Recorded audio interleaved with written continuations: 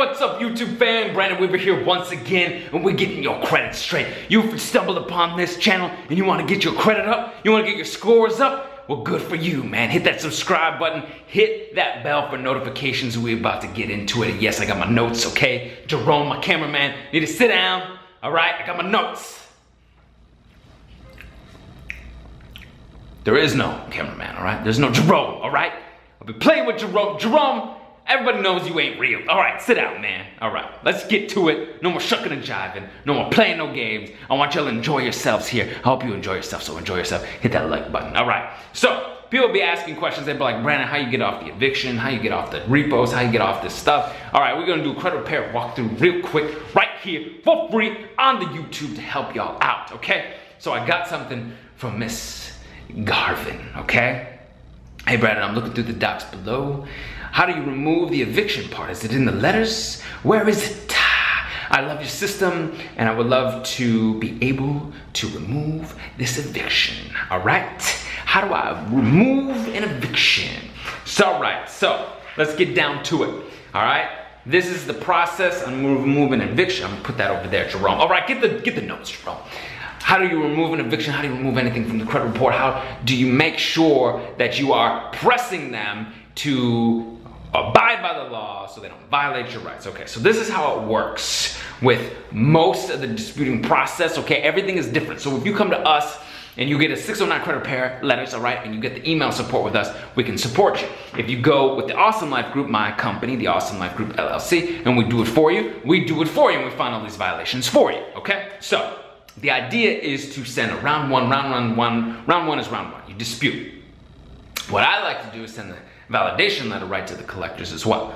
Two-pronged approach to see if they're gonna violate your rights. Is see if they're gonna stop the collection process during their internal investigation or if they're gonna go ahead and tell the credit bureaus that they verified or they can use the e-Oscar system and say it's verified because that's not a full-blown investigation, right? Okay, so you send the dispute. They come back, quote unquote, deleted or quote unquote verified or quote unquote updated or quote unquote not coming back, right? And they don't come back at all. So they don't come back at all. You send the non-response letters to the collectors and to the credit bureaus, all right? You also can send a method of verification letter to the bureaus, okay? And this is all outlined for you at 609creditrepair.com. So you send the letter of verification, excuse me, the method of verification letter to the bureaus and you send a second round validation letter or non-response letter to the collectors, all right? Now, you stitch them up. How do they, how did they verify it? This works with evictions, but we're gonna get to evictions on how to specifically do that process. You see, there's a due process for everything. There's a specific process. You can get the email support with me. You can write your comments. You can hit the bell for notifications to ask me when you go live, when I go live, and y'all go live when we're on live together. And you can get this stuff knocked out. Now, after that, You've already demanded that everything be deleted if it is not 100% accurate for the Fair Credit Reporting Act, if they can't provide verification, that kind of stuff. You're allowed to do that. That's your rights. Okay, that allowed it's allowed you to do it. I've heard from lawyers. I've heard from lawyers. I've had lawyers. I've learned from them. Okay, you're allowed to do that. Now, your next letter will be a demand or getting ready to become litigious. Okay, with both of them. Same idea, boom, boom, back and forth. And you built your case, they haven't verified anything, everything's been certified, notarized, that kind of stuff. The final round, okay, you got your CFPB, you got your FTC, you've, got your Better Business Bureaus, AGs. Let's say you, you complain, you get yourself a lawyer, you can take them to court, you can do it yourself, okay? A lot of times, small claims court, you go yourself, okay? But I've had customers and consumers and people who we have helped and clients who will just consult with a lawyer, get a free consultation, or talk to free credit lawyer, okay? Free credit lawyers. FreeCreditLawyer.com, okay? They can help you out if there's violations. There are people, I've had uh, lawyers reach out to me and say, hey, if you see any Fair Debt Collection Practices Act violations, Fair Credit Reporting Act violations, let us know, okay? We'll take them to court, all right? Make some money.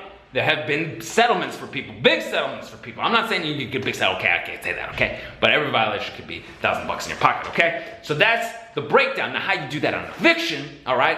We have to know specifically where evictions are stored, and we know because you're hitting the subscribe button, you're watching these videos over and over and over again to get your repair on, all right?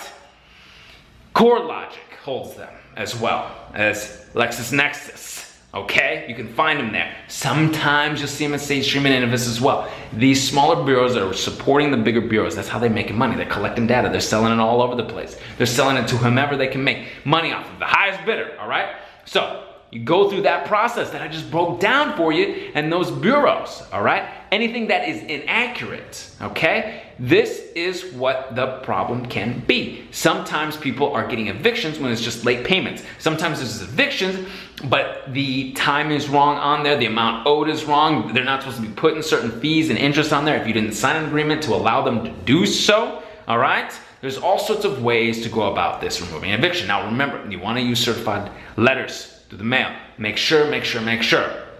Some individuals have gotten quote unquote evictions just for leaving early, and I got an email from an individual who had to get look into the Service Members Credit Uh, act, the, the SCRA, okay, for service members, for the for for people like myself as well, for veterans and for current service members who are moving from different locations, they can't be prosecuted against or, you know, they, that's prejudice, prejudicial. They have orders to go to other bases or other locations, deployments, okay? And they can't be stitched up in these leases, so they gotta let them out. I know of somebody who's dealing with that right now, and it's classified as an eviction, and that is 100% inaccurate. You can take them to court. This is the kind of stuff that gets reported, and it's reported incorrectly, and it's hurting people, and it, it is. It is hurting their character.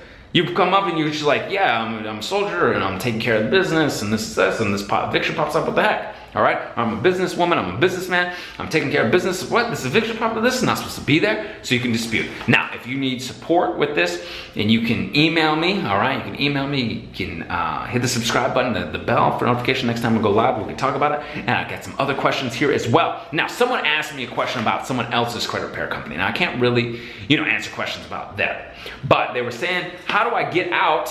how do I get out of that credit repair company that's not doing me right. They don't feel like they're being done right. Probably the customer experience is not the good, the best, right? It's really about the customer experience. People want to get their credit repaired, but they also want to know that they're supported through the process, they're getting educated, they're getting talked to on the phone, they have a team member, they have somebody to talk to, they have an advocate, they have a champion, they have a credit repair specialist, they're for them. So how do you get out of it? It should be very simple. You shouldn't be in a contract, okay? Per the laws, per the fair, per the CROA, okay? CROA. You can look it up, C-R-O-A, for all the credit repair companies. You can look that up. They're not supposed to put you in long-term contracts, okay? I think the most they're allowed to do, is, well, you, again, I can't talk about someone else's business. Yeah, each state has slightly varying things that allow them to do this. But they shouldn't really have you with us, we're month to month. And that's something that I think that I have left out is that our company at the Awesome Life Group LLC, if you come on board with us, we're a month to month company. Okay? One month you don't want to be with us, you can go ahead and cancel. You get the results you want, you can go ahead and cancel. All right? Boom. I can get getting results quickly. Boom. I don't have to keep paying.